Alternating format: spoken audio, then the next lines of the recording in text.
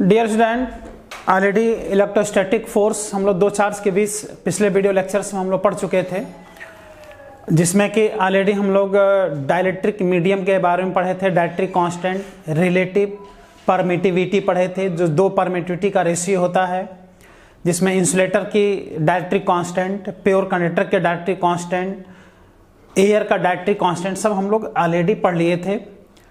अब इसमें हम लोग कॉन्सेप्ट ये पढ़ेंगे कि अगर दो चार्ज के बीच डायरेक्ट्रिक कोई मीडियम ला के फिलअप कर दिया जाए तो वहाँ पे कैसे फोर्स फाइंड किया जाता है?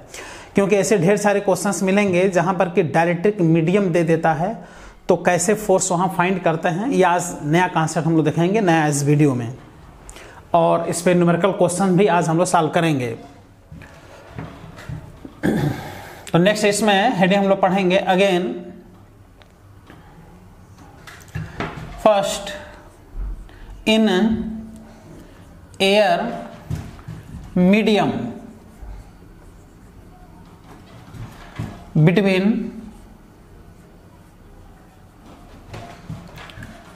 two charge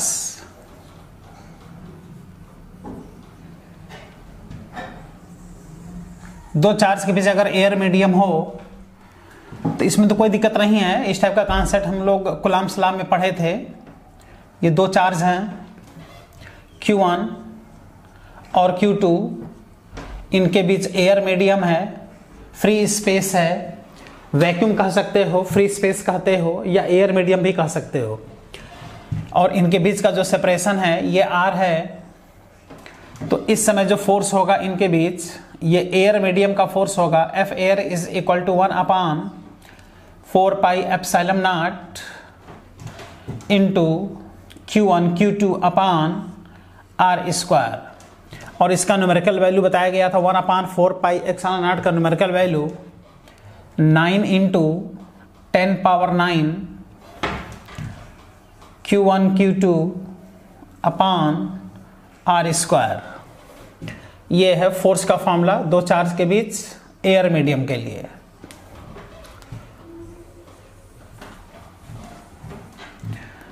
न्यूटन इसका यूनिट होगा। या तो ये अट्रैक्टिव हो सकता है, या तो रिपल्सिव हो सकता है। वो डिपेंड करेगा कि दोनों चार्ज का कैसा नेचर है। लेकिन इसके बाद हम लोग बात करते हैं second in dielectric medium dielectric medium between dielectric medium between two charge दो चार्ज के बीच अगर डायरेक्ट्रिक मीडियम हो तो उस समय फोर्स कैसे इसमें देखेंगे?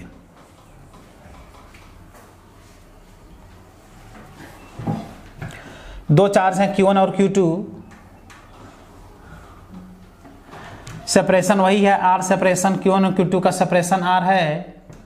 इनके बीच का सेपरेशन यहाँ पर R है, लेकिन यहाँ पर अब एयर मीडियम ना होकर के कोई मीडियम ला करके यहाँ देख रहा हो, फिर यहाँ पे फिलअप कर दिया जाए। पूरे में एक समान रूप से यहाँ पे कोई मीडियम ला के फिलअप कर दिया जाए तो यही कहलाता है, डियर डायरेक्ट्रिक मीडियम। अब इसके डायरेक्ट्रिक कांस्टेंट की आवश्यकता पड़ेगा। डायरेक्ट्रिक कांस्टेंट यानी रिलेटिव परमिटिविटी की आवश्यकता पड़ेगा। सेपरेशन अभी भी कितना है इसका?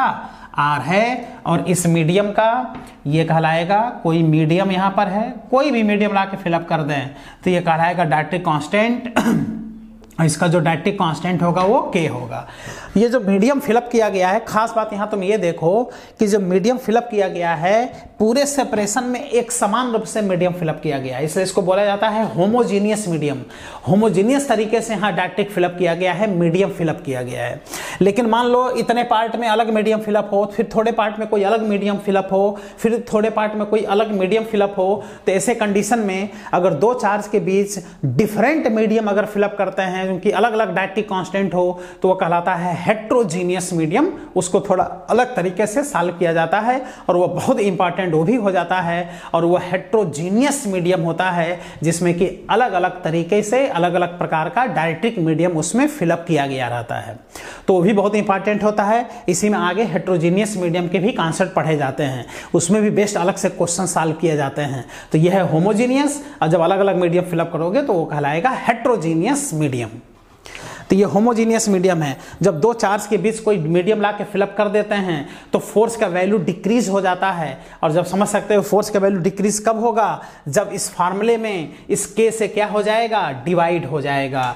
इसलिए अगर यहाँ पे अगर फोर्स का हम लोग वैल्यू लिखें force between two charge in dielectric medium is equal to one upon four pi epsilon naught, सब यही फॉर्मूला रहेगा। देख रहे हो? बस यहाँ के से डिवाइड हो जाता है, यही ध्यान देना चाहिए। अगर दो चार्ज के बीच डायट्रिक मीडियम दिया है तो यहाँ के से डिवाइड कर दिया करो, और यह आ जाएगा Q one Q two upon R square is equal to nine into ten power nine upon K into Q one Q two upon R square अभी भी इसका जो यूनिट होगा वो न्यूटन ही रहेगा। क्यों? क्योंकि के का ना कोई यूनिट होता है, ना कोई डायमेंशन होता है। इसलिए इसका न्यूमेरिकल वैल्यू बस चेंज होगा। लेकिन यूनिट जो होगा वो अभी भी न्यूटन ही रहेगा डियर तो देख रहे हो, ये भी आंसर न्यूटन में आएगा, ये भी आंसर न्यूटन में आएगा। बस ये ध्यान देना चाहिए कि अगर दो चार्ज के बीच कोई मीडियम ला के फिलअप कर दे और उसका डायट्रिक कांस्टेंट के पता हो। डायट्रिक कांस्टेंट के बारे में पिछले वीडियो लेक्चर में बताया गया था। तो इसमें के से बस यहाँ पर क्या हो जाता है? डिवाइड हो जाता है। उसके बाद से इस मामले से न्यूमेरिकल क्वेश्चन सॉल्व कर लिया जाता है।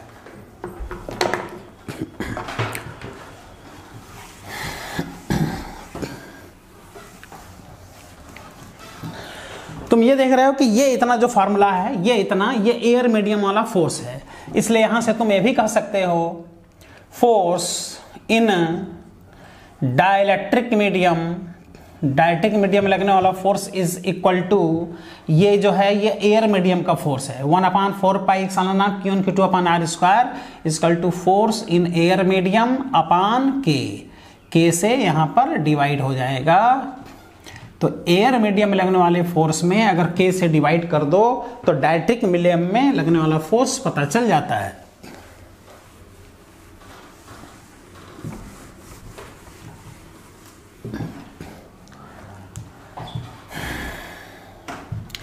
That is, F air is equal to K into F dielectric.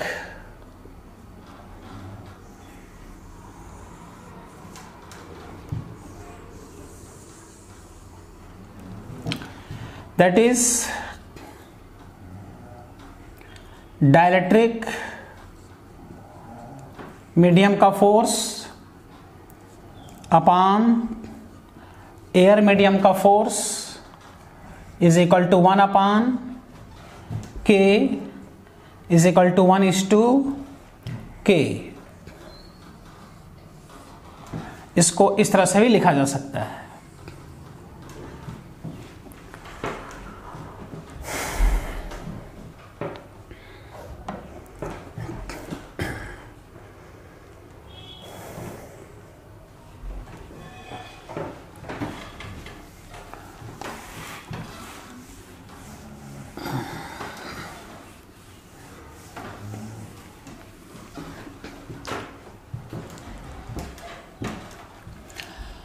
Again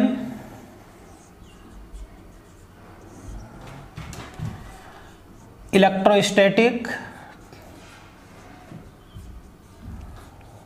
force between two charges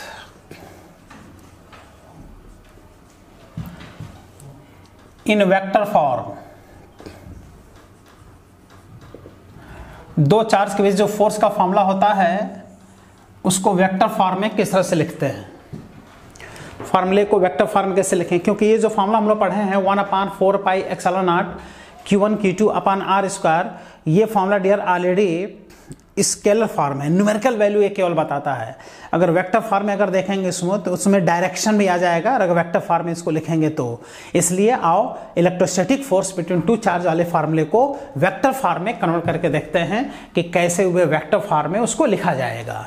इसके लिए अगर देखा जाए कि दो चार्ज अगर Q1 और Q2 दो चार्ज हैं, ये चार्ज है Q1 और ये चार्ज है Q2 इनके बीच का सेपरेशन है R तो खास बात यह है कि अगर दोनों पॉजिटिव चार्ज हैं तो इसके द्वारा इस पर लगेगा रिपल्सन इसके द्वारा लगेगा तो electrostatic force between two charge in vector form हम लोग लिखना है तो फार्मूले को ही वेक्टर फॉर्म में कन्वर्ट कर देना है। तो दो चार्ज हैं Q1 Q2 R सेपरेशन पे तो इसके द्वारा जो इस पर फोर्स लगेगा, वो हमेशा जो फोर्स लगता है, वो इस लाइन के ही एलांग फोर्स लगेगा।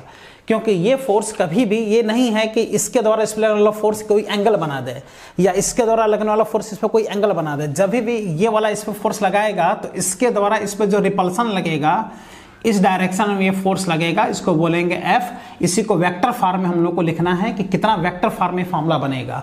इसके द्वारा अगर इस पर फोर्स देखना है तो ये फोर्स इधर लगेगा। तो जितना फोर्स ये उस पर लगाएगा, उतना ही ये फोर्स इस पर लगाएगा। तो इसके द्वारा इस पर लगने वाला फोर्स अगर एफ़ को वेक्टर फॉर्म में देखना है तो कैसे हम लोग वेक्टर फॉर्म में इसको लिखेंगे, ये कॉन्सेप्ट हम लोग को यहाँ पर सीखना है। तो आओ, सबसे पहले हम लोग यहाँ पर फोर्स का फॉर्मूला लिख लें स्केलर फॉर्म में numerically one upon four pi epsilon naught air medium है तो यहाँ के नहीं लिखेंगे इन टू ये हो जाएगा Q one Q two upon R square ये इसका डियर न्यूमेरिकल वैल्यू है, ध्यान देना। इट इज़ न्यूमेरिकल वैल्यू ये न्यूमेरिकल वैल्यू है। लेकिन अगर इसको वेक्टर फॉर्म में लिखना है तो वेक्टर फॉर्म लिखने के लिए देख लो, इस पर एफ़ वेक्टर अप्लाई करेंगे is equal to one upon four pi epsilon naught into Q1 Q2 upon R square लिखेंगे और साथ में इसके डायरेक्शन को इंडिकेट करेंगे। तो इसके द्वारा इस पर लगने वाला फोर्स ये डायरेक्शन होगा और इसके द्वारा इस पर लगने वाला फोर्स होगा, वो इस आर के एलान होगा। दैट इज़ कभी भी आर से हट करके कोई एंगल नहीं बनाएगा। जब भी फोर्स लगेगा तो आर के ही एलान होगा। इसलिए इस डायरेक्शन में अगर इसका यूनिट वैक्टर आर कैप हो तो उससे हम क्या कर दें? मल्टीप्लाई तो इसमें डायरेक्शन आ जाएगा और आर कैप इंडिकेट करता है direction of R along the force force के अलांग जो आर का डायरेक्शन है, उसको इंडिकेट कर रहा है। और जो आर कैप होता है तो आर कैप का मतलब इसका जो इसका जो मैग्नीट्यूड होगा, वो वन होगा आर कैप का। जब मैग्नीट्यूड वन होगा तो ऐसे कंडीशन में इससे मल्टीप्लाई करने से इसके न्यूमेरिकल वैल्यू में कोई फ़र्क नहीं पड़ेगा।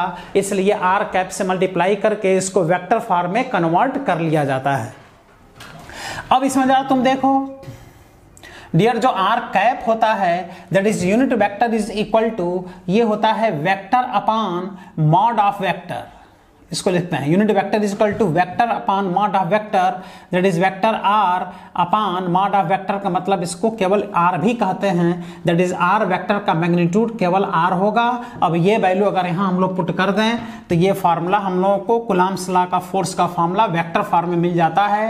One upon four pi epsilon naught Q one Q two upon R square और आर कैप को हम लोग लिख देंगे into R vector upon R और जब इसको वेक्टर फॉर्म हम लोग लिखेंगे तो F vector is equal to one upon four pi epsilon naught into Q one Q two upon R square into R का वैल्यू हो जाएगा D R R cube into R तो ये कहलाता है कुलामसला का इलेक्ट्रोस्टैटिक फोर्स का formula vector form में, जब वेक्टर फॉर्म में इसको लिखते हैं तो यहाँ पर देखो आर स्क्वायर के स्थान पर आर क्यूब आ जाता है और आर इसके डायरेक्शन को इंडिकेट करता है। यानी इंडिकेट करता है कि इसके द्वारा लगने वाला जो फोर्स होगा, इस आर के ही एलांग होगा। तो इसके द्वारा इस पर जो लगने वाला फोर्स होगा, इसके जस्ट अपोजिट होगा। इसलिए इस पर अगर फोर्स देखना है तो ये फॉर्मूला होगा। और इसके द्वारा अगर इस पर फोर्स देखना है तो फोर्स का डायरेक्शन चूँकि जस्ट अपोजिट हो जाएगा, इसलिए यहाँ पर क्या लग जाएगा? माइनस लग जाएगा। लेकिन ये जो फार्मूला है, ये कुलाम्स ला का फार्मूले का कौन सा फॉर्म है डियर यह है vector form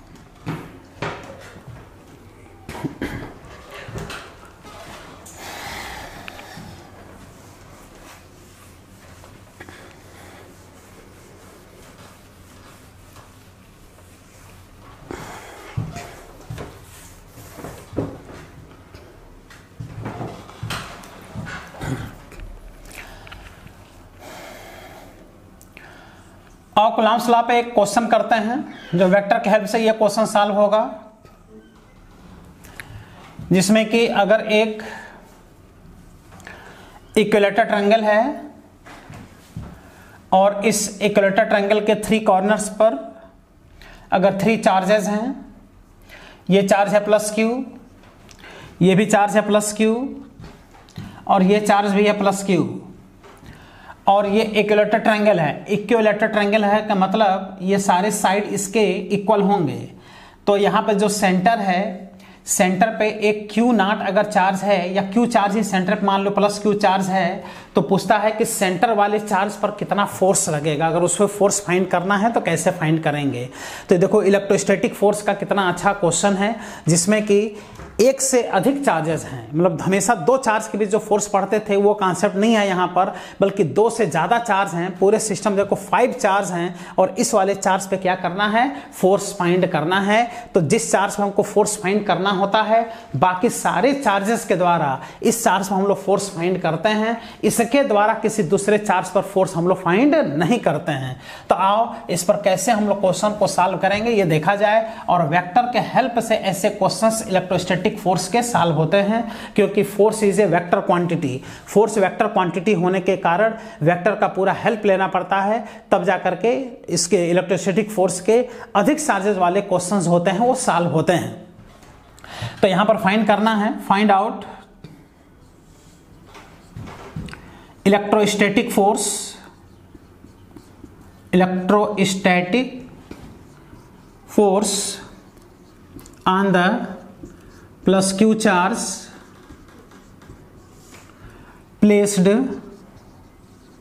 at center of given equilateral triangle.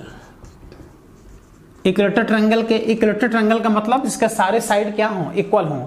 जब सभी साइड इक्वल होंगे तो ये सारे जो एंगल्स होंगे, ये सब के सब सिक्सटी डिग्री होंगे। तो सेंटर पर रखने वाले फोर चार्ज पर फोर्स फाइंड करना है।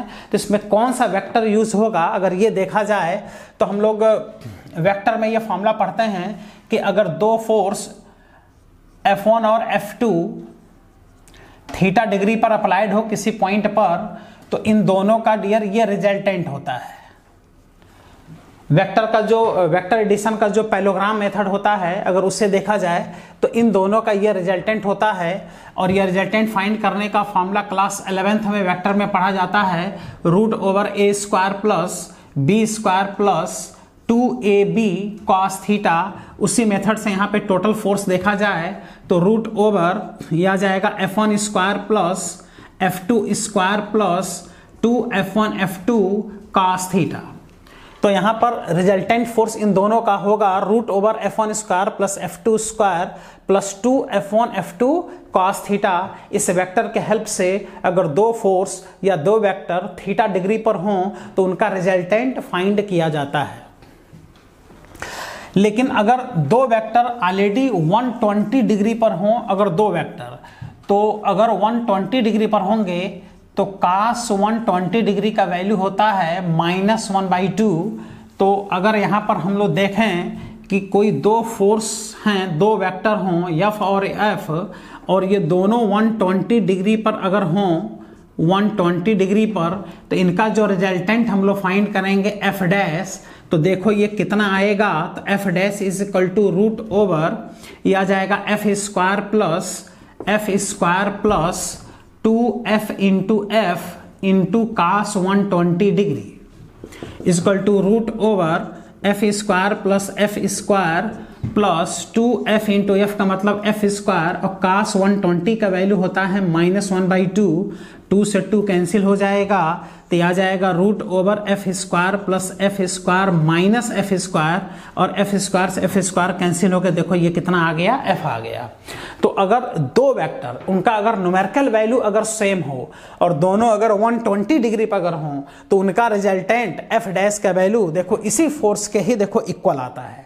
यानी यहाँ टेन न्यूटन और टेन न्यूटन अगर है तो ऐसे में इनका जो रिजल्टेंट होगा टेन और टेन न्यूटन का 120 डिग्री पे टेन ही होगा। तो यफ और यफ का रिजल्टेंट कितना होगा? एफ़ होगा।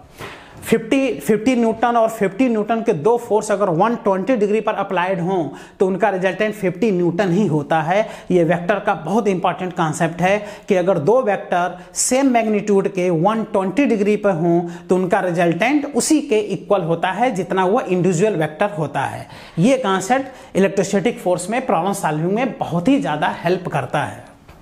और इस कॉन्सेप्ट को यहाँ पर हम लोग क्या करते हैं? फॉलो करते हैं और सेंटर वाले चार्ज पर हम लोग फोर्स देखते हैं। तो जब डेर सेंटर वाले चार्ज पर हम लोग फोर्स देखेंगे, ये तो इसको यहाँ पर मिला देंगे, इसको यहाँ से मिला देंगे और इसको यहाँ से मिला देंगे।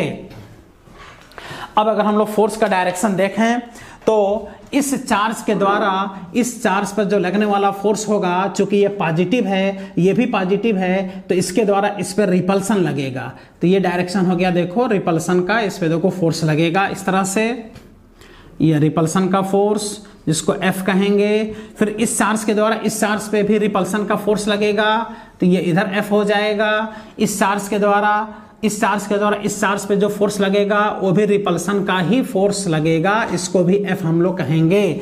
तो इस चार्ज पर टोटल थ्री फोर्सेस लगेंगे, क्योंकि इसके अलावा टोटल थ्री चार्जेस इसमें हैं।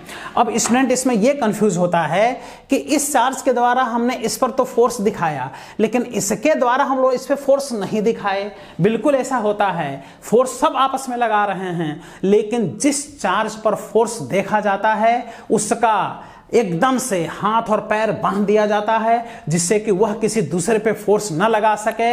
बाकी के द्वारा उस पर फोर्स देखा जाता है और वेक्टर के हेल्प से रिजल्टेंट फाइंड करके फोर्स फाइंड कर लिया जाता है। इसलिए जिस पर फोर्स पूछ रहा है फोर्स केवल उसी पे अप्लाई करना है, बाकी किसी दूसरे पर फोर्स अप्लाई नहीं करना है। जबकि ये भी इस पर फोर्स लगा रहा है, ये भी इस पर फोर्स लगा रहा है, लेकिन फोर्स हमको इस पर नहीं देखना है, इस पर नहीं देखना है। सेंटर वाले चार्ज पर फोर्स देखना है। इसलिए इसके इसके द्वारा रिपल्सन इसके द्वारा इस पर रिपल्सन और इसके द्वारा इस पर रिपल्सन टोटल थ्री फोर्सेज इस पर लग रहे हैं। अब अगर इस चार्ज इस चार्ज को अगर बाहर हम लोग निकाल लें, यहाँ पर प्लस क्यू चार्ज अगर बाहर निकाल लें तो टोटल अगर देखा जाए तो इस पर थ्री फोर्सेज लग रहे हैं। एक यफ इधर लग रहा है एक एफ़ इधर अप्लाइड है और एक एफ़ इधर अप्लाइड है और ये टोटल एंगल इक्वल होंगे तो ये एंगल होगा टोटल 120 डिग्री और ये एंगल भी होगा 120 डिग्री ये एंगल भी होगा 120 डिग्री और अभी हम लोग सीखे हैं वेक्टर में कि अगर दो फोर्स 120 डिग्री पर हो तो उसका रिजल्टेंट इसी के इक्वल होगा। तो इन दोनों का रिजल्टेंट 120 डिग्री पे एफ़ ही आएगा। इसलिए इन दोनों का रिजल्टेंट हम इस डायरेक्शन में दिखा देंगे जो कितना होगा एफ़ होगा। अब इसकी, इस फोर्स की और इस फोर्स की कहानी फिनिश हो गई, क्योंकि इन दोनों का ये क्या है रिजल्टेंट है। तो इस पॉइंट पर सेंटर पर अब एक ये फोर्स बचा और ये फोर्स बचा, दोनों डियर इक्वल और अपोजिट कैंसिल आउट हो जाएँगे और सेंटर वाले चार्ज पर जो सेंटर पे चार्ज रखा है, उस पर total force F minus F मिलके कितना हो जाएगा? ज़ीरो हो जाएगा। ये क्वेश्चन एनसीईआरटी का क्वेश्चन है। एनसीईआरटी में एग्जांपल ये क्वेश्चन दिया है। एकदम सिंपल क्वेश्चन थोड़ा वेक्टर के हेल्प से ये क्वेश्चन देखो उन्होंने सॉल्व कर लिया। एनसीईआरटी का क्वेश्चन है कि अगर थ्री चार्जेस एक किलोटर ट्रायंगल के तीनों कारण पर अगर रखे गए हैं सेम मैग्नीट्यूड के, और एक चार्ज उसके सेंटर पर रखा गया है तो सेंटर पे लगने वाला टोटल फोर्स ज़ीरो हो जाता है, जिसमें कि ये कांसर देखो यूज़ किया जाता है। और यह कॉन्सेप्ट क्या है कि जिस चार्ज पर फोर्स पूछे, उसी पर सबके द्वारा फोर्स लगाना चाहिए, उसके द्वारा किसी दूसरे चार्ज पर फोर्स अप्लाइड नहीं करना चाहिए। अगर ऐसा कर दोगे तो फिर क्वेश्चन सॉल्व नहीं कर पाओगे। यही विशेष ध्यान देना है, चाहे जितने चार्जेस हों, इसके क्वेश्चन तुम आसानी से सॉल्व कर सकते हो। एक स्क्वायर वाला क्वेश्चन आता है, जिसके फोर कार्नर पे फोर चार्ज रख देता है, उसके बाद से सेंटर पे चार्ज रख करके उस पर फोर्स पूछता है, या फोर कार्नर पे चार्ज रख करके और किसी एक कारण पे फोर्स फाइंड कराता है। हेक्सागन वाले क्वेश्चन आते हैं। ये सारे क्वेश्चन इस मेथड से क्या होते हैं? सॉल्व हो जाते हैं। और नेक्स्ट क्वेश्चन हम लोग देखते हैं।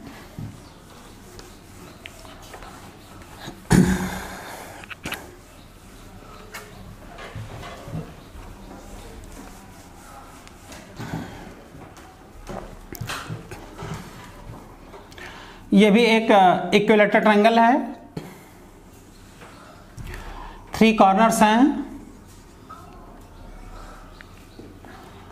ए बी एंड सी यहाँ पे जो चार्ज है वो 100 ई एस यू का चार्ज है।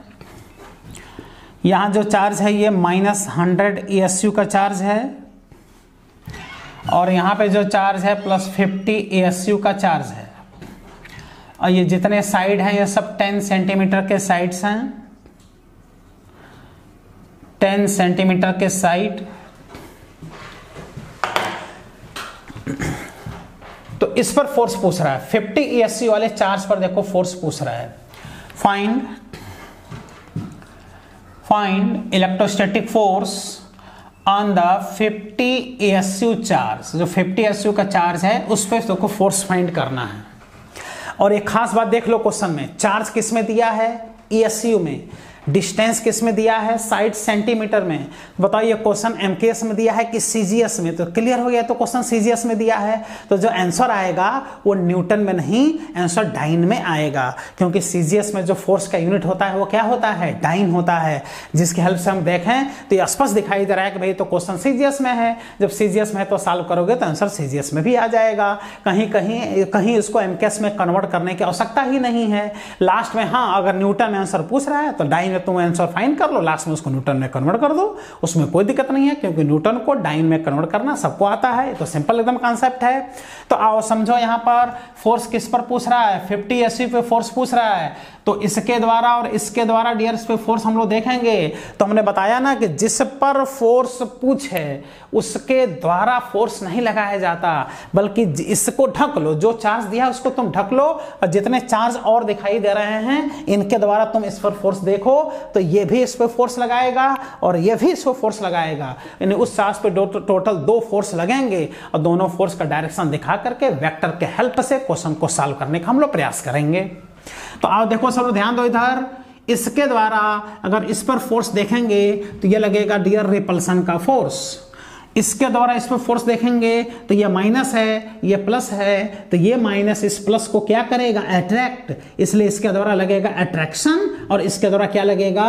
रिपल्सन बस दो फोर्स दिखाई दे रहा है, दोनों का रिजल्टेंट हम लोग फाइंड कर लेंगे। आओ फिर से ध्यान दो, ये डियर पॉजिटिव और ये भी डियर पॉजिटिव तो जब दोनों पॉजिटिव पॉजिटिव हैं तो पॉजिटिव पॉजिटिव का क्या करेगा? रिपल्सन जब रिपल्सन करेगा तो इस डायरेक्शन में ये फोर्स लगाएगा।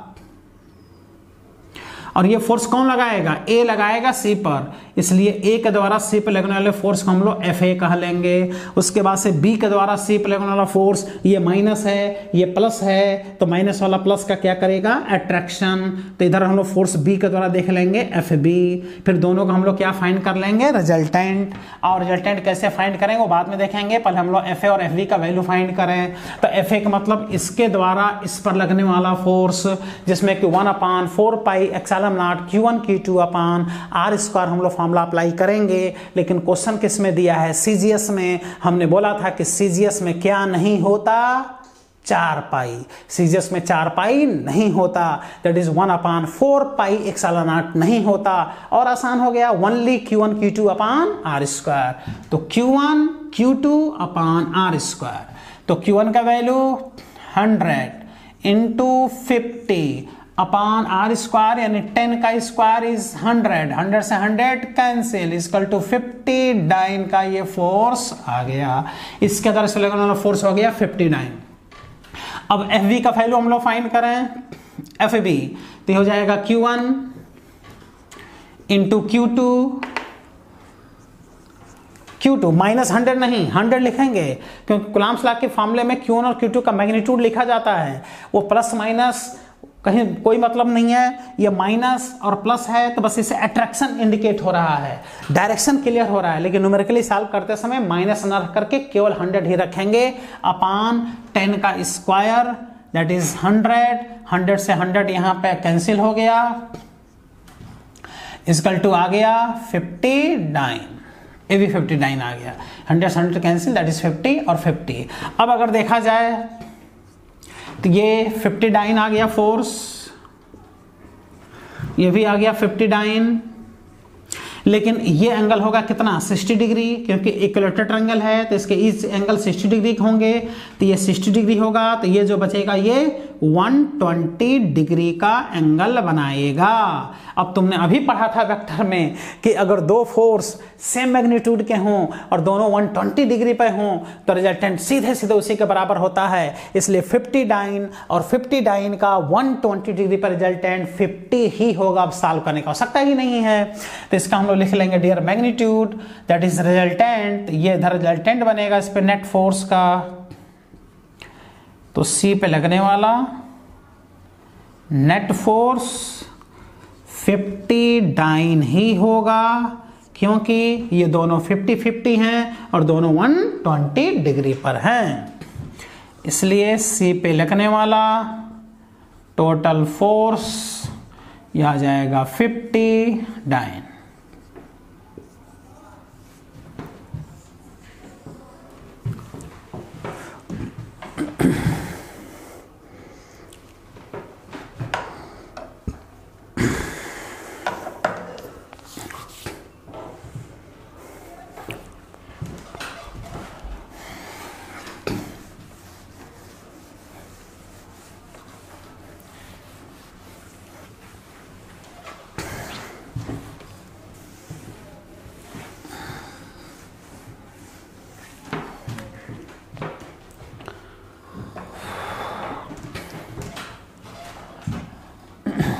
Again.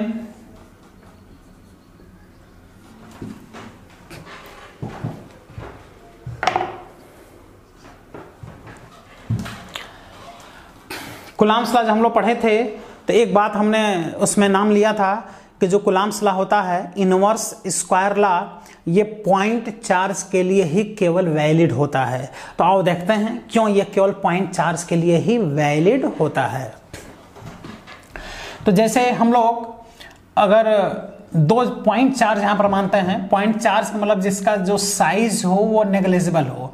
तो दो पॉइंट चार्ज हैं Q1 और Q2 आर सेपरेशन पर तो इनके बीच लगने वाला जो फोर्स होता है F, ये होता है one upon four pi epsilon naught Q1 Q2 upon R square इतना फोर्स होता है अकॉर्डिंग टू कुलाम्स लॉ और ये सब कौन से चार्ज हैं? Q1 and Q2 are point charge ये दोनों पॉइंट चार्ज हैं। इसके लिए देखो कुलाम्स लॉ अप्लाई कर लो, कहीं कोई दिक्कत यहाँ पर नहीं है। लेकिन अब हम बात करते हैं सेकेंड Q1 Q2 को पॉइंट चार्ज ना मान के यहाँ पर अगर स्फेयर मान लिया जाए कि एक ये स्फेरिकल बॉडी है और ये एक स्फेरिकल बॉडी है। तो इसके लिए ये कुलाम्स लॉ वैलिड नहीं रहेगा। इसमें जो फोर्स लगेगा, इससे फाइंड करोगे और एक्चुअल फोर्स देखोगे तो दोनों डिफरेंट आएँगे। ऐसा क्यों होगा? जैसे यहाँ पर अगर हम चार्ज मान लें Q1 इस पर पॉजिटिव चार्ज टोटल Q1 मान लें और इस पर पॉजिटिव चार्ज हम लोग Q2 मान लें। उस पर चार्ज Q1 और इस पर चार्ज मान लें डियर Q2 तो हो गया Q1 और ये हो गया Q2 और ये पॉइंट चार्ज नहीं है, बल्कि ये स्फेयर है और ये भी पॉइंट चार्ज नहीं है, ये स्फेयर है इनके सेंटर से जो सेंटर के बीच की दूरी है, वो डियर आर है। ये हो गया आर ये दोनों हो गया स्फेयर Q1 चार्ज और Q2 चार्ज तो यहाँ पर अगर हम लोग फोर्स निकालें तो जो एक्चुअल फोर्स लगेगा इस वाले फार्मूले से जो फोर्स निकालेंगे तो उससे डिफरेंट आएगा। क्यों डिफरेंट आता है? क्योंकि तुम देख लो, इस पर भी पॉजिटिव चार्ज है, इस पर भी पॉजिटिव चार्ज है तो ये चार्ज जब आपस में रिपल्सन होंगे तो ये पॉजिटिव जो चार्ज होंगे, वो इधर शिफ्ट हो जाएँगे। इधर के पॉजिटिव चार्ज इधर शिफ्ट हो जाएँगे। तो शिफ्ट होने के कारण ये चार्जेस इधर इनकी कंसंट्रेशन इधर बढ़ जाएगी। ये चार्ज रिपल्सन होने के कारण इधर कंसंट्रेशन चार्ज का बढ़ जाएगा। इधर वाले पॉजिटिव चार्ज का कंसंट्रेशन देखें तो इधर चार्ज का कंसंट्रेशन बढ़ जाएगा। तो कंसंट्रेशन चार्ज का बढ़ हो जाएगा रिपल्सन होने के कारण। इन चार्जेस के बीच का जो इफ़ेक्टिव सेपरेशन होगा इफ़ेक्टिव सेपरेशन वो इस वाले सेपरेशन से थोड़ा ज़्यादा हो जाएगा। जब इफ़ेक्टिव सेपरेशन बढ़ जाएगा तो उनके बीच लगने वाला जो फोर्स होगा, अगर इस वाले फॉर्मूले से देखा जाए तो उसके रिस्पेक्ट में फोर्स थोड़ा सा कम हो जाएगा। लेकिन पॉइंट चार्ज में जो चार्ज का रिपल्सन होता है तो उनके जो चार्जेज हैं, इधर उधर नहीं जाते, क्योंकि उनकी साइज़ नेग्लेजिबल होती है। लेकिन यहाँ पे जो कि साइज़ नेग्लेजिबल नहीं है, इसलिए चार्जेस क्या होते हैं? रिपल्सन कर जाते हैं और अपने पोजिशन से थोड़ा सा दूर हट जाते हैं, जिससे कि इनके बीच का इफ़ेक्टिव सेपरेशन जो होता है, वो चेंज हो जाता है। इसलिए यहाँ पर कुलाम्स लॉ से जो फोर्स आता है, उससे फोर्स थोड़ा कम हो जाता है। इसलिए कहा जाता है कि electrostatic force between two charges are valid for only point charge केवल पॉइंट चार्ज के लिए डियर ये वैलिड होता है। तो ये पॉइंट चार्ज नहीं था, ये चार्जेस डियर स्फेरिकल थे। यहाँ का जो आंसर आएगा, वो कुलाम सलाले से थोड़ा सा डिफरेंट आंसर आता है, क्योंकि कुलाम सला यहाँ पर वैलिड ही नहीं है। तो यहाँ का जो फोर्स होगा, ये होगा one upon four pi epsilon naught into Q one Q two upon R square लेकिन डियर यहाँ इक्वल नहीं कहेंगे, क्योंकि ये सेपरेशन एक्चुअल में देखा जाए तो थोड़ा सा बढ़ेगा, क्योंकि ये चार्ज इधर शिफ्ट होंगे, इधर के चार्ज इधर शिफ्ट होंगे, इसलिए जो फोर्स लगेगा कुलाम्स वाले फोर्स से थोड़ा कम फोर्स ये आएगा।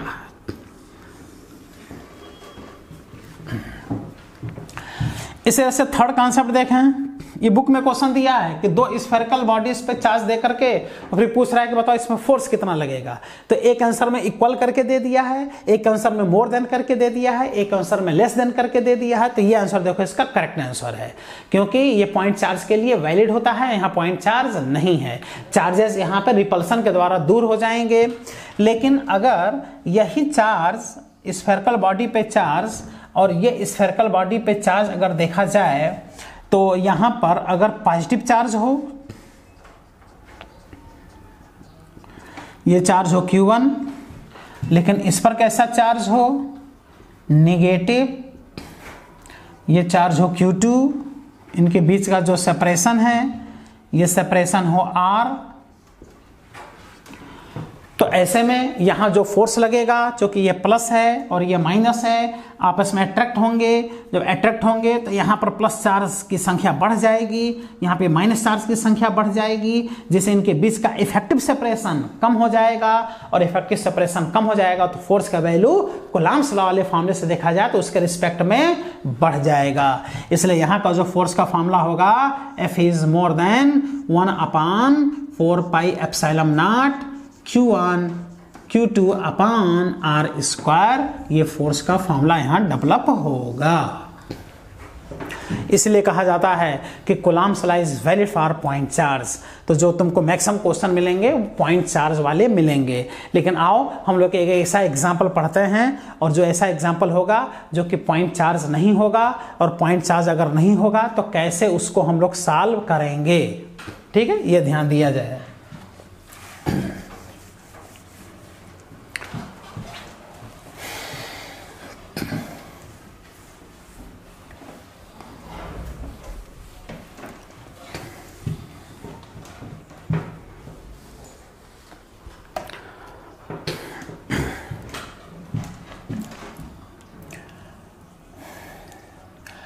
जैसे क्वेश्चन इस पे सॉल्व करें इस कॉन्सेप्ट पर, जैसे यहाँ पर पॉइंट चार्ज ना देकर के लाइन चार्ज दिया हो। मतलब चार्ज एक रॉड पे यूनिफॉर्मली डियर डिस्ट्रीब्यूटेड है। देख रहे हो?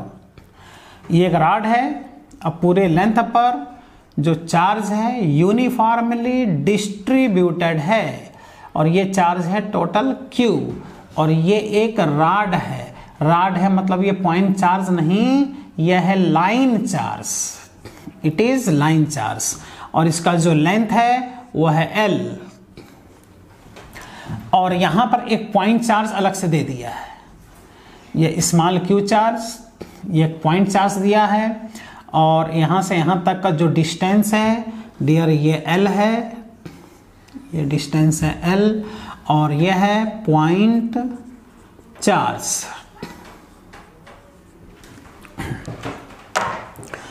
तो क्वेश्चन कह रहा है find out find out electrostatic force between between electrostatic force between given given point charge and line charge point charge और लाइन चार्ज के बीच फोर्स पूछ रहा है। अब देख लो, यहाँ पर ये हम लोग का ध्यान देना है कि ये तो हो गया पॉइंट चार्ज लेकिन ये तो पॉइंट चार्ज नहीं ना है। अब यहाँ पे डायरेक्ट तुम कुलाम सला अप्लाई नहीं कर सकते हो। अब आ रहा समझ है यहाँ पर, वो वाला कॉन्सेप्ट पॉइंट चार्ज वाला कॉन्सेप्ट कहाँ, कैसे अप्लाई किया जाता है? अब ये नहीं कि तुम बिना ध्यान दिए फट से लिख दोगे कि वन अपान फोर पाई एक समान आठ Q into Q upon two L का स्क्वायर ऐसा नहीं होगा, क्योंकि ये डियर तो पॉइंट चार्ज है, लेकिन वो क्या है? लाइन चार्ज है. इसलिए अब डायरेक्ट गुलाम सलाह से क्वेश्चन सॉल्व नहीं होगा. तो ऐसे जो क्वेश्चन होते हैं, ये क्वेश्चन नॉर्मल क्वेश्चन नहीं कहलाते हैं. ये क्वेश्चन थोड़े मायावी होते हैं. मायावी राक्षस कहलाते कहलाते हैं और ऐसे क्वेश्चंस को सॉल्व करने के लिए ब्रह्मास्त्र की आवश्यकता होता है। ब्रह्मास्त्र की आवश्यकता होता है कि मतलब इंटीग्रेशन की आवश्यकता होता है। ये इंटीग्रेशन का सबको पता है कि डियर सिंबल होता है और इंटीग्रेशन का सिंबल ही कुछ इस शेप का होता है, जो ब्रह्मास्त्र के जैसे होता है। इसका मतलब ऐसे क्वेश्चन को सॉल्व करने के लिए कुछ ना करो इंटीग्रेट करके क्वेश्चन को सॉल्व कर लो। तो ये समझ में आना चाहिए कि आखिर इंटीग्रेशन की आवश्यकता क्यों पड़ रहा है? तो जब ऐसे क्वेश्चन आता समझ में पाता है कि क्या करें, कि आखिर क्यों इंटीग्रेट करें? तो समझ में आ रहा है कि यहाँ कुलाम्स ला वैलिड नहीं है। जो कुलाम्स ला वैलिड नहीं है तो इंटीग्रेशन का हेल्प लेना होगा। इसके लिए कुलाम्स ला अप्लाई करने लायक इसको पहले बना लिया जाएगा। ये तो बताओ पॉइंट चार्ज है। लेकिन ये तो लाइन चार्ज है, इसलिए डियर इस पर पॉइंट चार्ज कट कर लिया जाता है। D Q charge elementary charge इस पर कट करके और दोनों के बीच फोर्स फाइंड करके और यहाँ से यहाँ तक इसको इंटीग्रेट करते हैं। अभी तुरंत फोर्स का वैल्यू आ जाएगा। तो क्या करेंगे बताओ इस पर? हम लोग एक एलिमेंट्री चार्ज यहाँ पर कट करेंगे। Very small charge D Q dear इस पर कट किया जाएगा। It is D Q charge और कितने थिकनेस का? डी एक्स थिकनेस का चार्ज इस पर कट करेंगे। डी एक्स अब ये जो वेरी स्मॉल चार्ज है very small charge is also point charge अब ये बन गया पॉइंट चार्ज और ये भी हो गया पॉइंट चार्ज इन दोनों के बीच अब हम लोग कुलाम सला अप्लाई कर लेंगे. यानी कुलाम सला अप्लाई करने के लिए इस पर डी क्यू चार्ज कट किया जाता है। ये ध्यान देना है।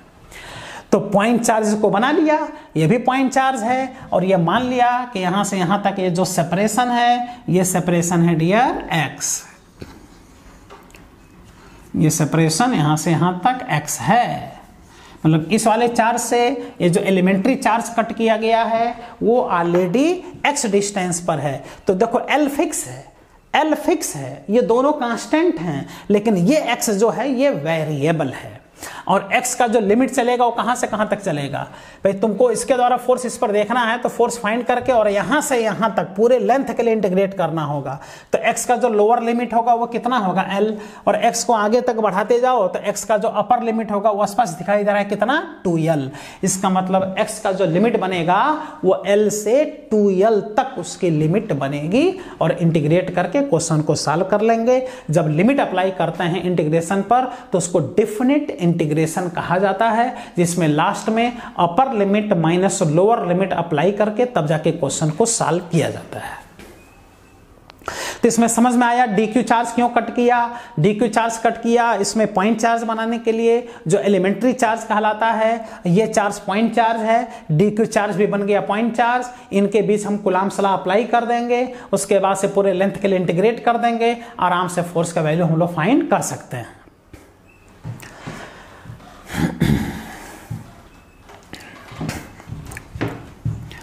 तो इसको सॉल्व करने के लिए सबसे पहले डी क्यू का वैल्यू फाइंड करते हैं। डी क्यू का वैल्यू फाइंड करने में स्टूडेंट परेशान हो जाता है कि डी क्यू आखिर फाइंड कैसे होगा? तो डी क्यू फाइंड करना एकदम आसान होता है। जो डी क्यू है, वो कितने लेंथ का चार्ज है? डी एक्स लेंथ का चार्ज है। तो हम लोग पहले फाइंड कर लेते हैं कि पूरे राड पर, पूरे लाइन चार्ज पर इस पे जो चार्ज है, उसके पर यूनिट लेंथ पे कितना चार्ज है? अगर पर यूनिट लेंथ का चार्ज पता चल गया तो जितने थिकनेस का चाहो, उतने थिकनेस का तुम चार्ज क्या कर सकते हो फाइंड कर सकते हो। तो बताओ, पूरे राड पर जो चार्ज है, वो कितना है? क्यू राड का लेंथ कितना है? एल तो क्यू में एल से डिवाइड कर दिया तो इसको बोलेंगे charge per unit length. Per unit length पे चार्ज अगर तुमको पता चल गया, अब चाहे जितने थिकनेस का चाहो चार्ज तुम फाइंड करो तो अब कितने थिकनेस का चार्ज देखना है? Dx थिकनेस का। तो देख लो dx से मल्टीप्लाई कर दिया तो ये dx थिकनेस पर कितना चार्ज है? ये dq चार्ज पता चल गया, और ये एलिमेंट्री चार्ज है, और ये बिहेव करेगा कौन सा चार्ज की तरह डियर अब ये पॉइंट चार्ज की तरह बिहेव करेगा। That is D Q is equal to charge per unit length into जितने थिकनेस का तुमको चार्ज चाहिए डीएक्स से क्या कर दिया? मल्टीप्लाई अब ये दोनों चार्ज हमने कितने सेपरेशन पे माना है? एक्स सेपरेशन पे माना है। तो इन दोनों के बीच हम लोग फोर्स फाइंड कर लें। इन दोनों के बीच जो फोर्स होगा डियर वो डी एफ़ फोर्स होगा। कुलामसला अब हम लोग अप्लाई कर लें। One upon four pi epsilon naught Q into D Q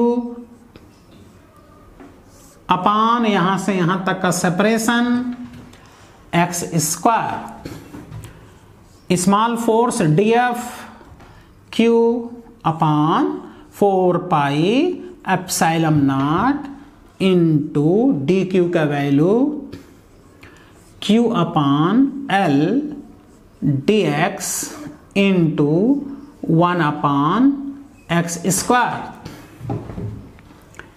that is df is equal to q q upon 4 pi epsilon naught l in bracket 1 upon x square dx अब integrate कर लें दोनों तरफ़ तो total force आ जाएगा जो constant integration से बाहर आ जाएगा Q Q upon four pi epsilon naught L, और यहाँ इंटीग्रेशन का सिंबल अप्लाई कर दिया। वन अपान एक्स स्क्वायर को एक्स पावर माइनस टू कह दिया। यहाँ एक्स आ गया, और लिमिट अगर एक्स का अप्लाई किया जाए तो एक्स का जो लो लोअर लिमिट होगा, वो स्पष्ट देखो एल दिखाई दे रहा है, और एक्स बढ़ते बढ़ते कहाँ तक जाएगा? टू एल तक। इसलिए एक्स की लिमिट जो होगी, वो होगी एल टू एल, ये एक्स की लिमिट हो जाएगी। अब कुछ नहीं करना है, बस इसको इंटीग्रेट कर देना है और इंटीग्रेट करके लिमिट अप्लाई कर देना है। क्वेश्चन अब आसानी से सॉल्व हो जाएगा।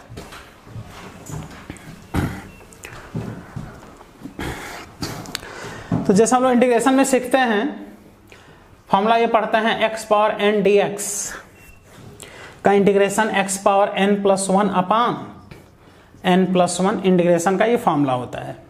तो यहाँ पर तुम देखो इंटीग्रेशन किसका करना है? एक्स पावर माइनस टू का इंटीग्रेशन करना है। तो यहाँ पर हो जाएगा X power minus two plus one upon minus two plus one that is X power minus one upon minus one is equal to minus one upon X ये integration देखो इसका होगा। X पावर माइनस टू का integration minus one upon X इतने का integration minus one upon X integration हो जाएगा। जो इसको अप्लाई कर दें यहाँ पर। और df का इंटीग्रेशन हो जाएगा F total force F is equal to Q Q upon four pi epsilon naught L X power minus two का integration minus one upon X L to two L यह आ गया F is equal to minus Q Q upon four pi epsilon आठ L.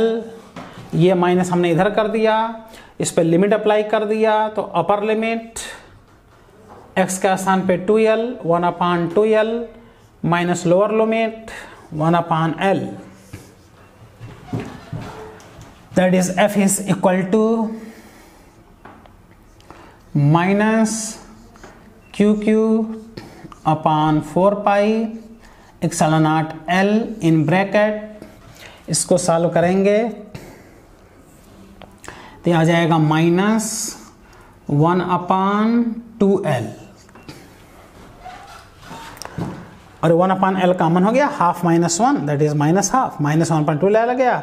अब minus minus मिलके plus that is F is equal to minus minus plus हो गया तो आ गया Q Q upon four two जा eight pi epsilon naught L into L is L square ये फोर्स आएगा।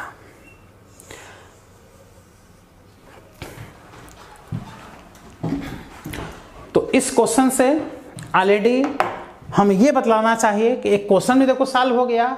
और इस क्वेश्चन से यह भी आइडिया लगा कि electrostatic force that is Coulomb's inverse square law is valid for point charge only जिसमें कि यहाँ पे पॉइंट चार्ज दिया है, लेकिन ये लाइन चार्ज दिया है, इसलिए इस लाइन चार्ज में हमने एक पॉइंट चार्ज कट कर लिया, जिसको एलिमेंट्री चार्ज डी क्यू कहते हैं। और इन दोनों पे अब हमने देखो कुलाम्स लॉ अप्लाई कर लिया यहाँ पर, और कुलाम्स लॉ अप्लाई करने के बाद से हमने यहाँ से यहाँ तक तो उसको इंटीग्रेट कर दिया। और तो कितना आसानी से क्वेश्चन सॉल्व हो गया। अब थोड़ा सा इंटीग्रेशन ये थोड़ा आना चाहिए। तो जो क्लास ट्वेल्थ के स्टूडेंट हैं, ये जो I T P M T exam दे रहे हैं नीट एग्ज़ाम दे रहे हैं आई टी एग्ज़ाम दे रहे हैं, उनको इतना इंटीग्रेशन आता है, ये आराम से इसको इंटीग्रेट कर सकते हैं। तो इस प्रकार के जो क्वेश्चंस होते हैं, मायावी क्वेश्चंस कहलाते हैं, मायावी राक्षस कहलाते हैं, जो ब्रह्मास्त्र से धराशायी होते हैं दैट इज़ इंटीग्रेशन से सॉल्व होते हैं। तो ये पॉइंट चार्ज बना करके तब जाके क्वेश्चन को क्या किया गया? सॉल्व किया गया। तो ये सबको ध्यान देना है। आज की, आज का लेक्चर यहीं तक। अब अगले वीडियो लेक्चर में इस पर और भी क्वेश्चंस कराए जाएँगे और दो चार्ज के बीच जो एक डायटिक फिलअप किया गया था, वो डायटिक फिलअप जो करेंगे, वह थोड़े थोड़े पार्ट में डायटिक फिलअप करेंगे, जिसको होमोजीनियस नहीं डियर तब उसको कहेंगे हेट्रोजीनियस मीडियम वो भी बहुत इंपॉर्टेंट क्वेश्चन होते हैं, जिसमें डायट्रिक मीडियम एक बराबर फिलअप ना करके अलग अलग डायट्रिक मीडियम उसमें फिलअप किए जाते हैं। ठीक है? मेहनत से सारे स्टूडेंट्स पढ़ाई करते रहें। ओके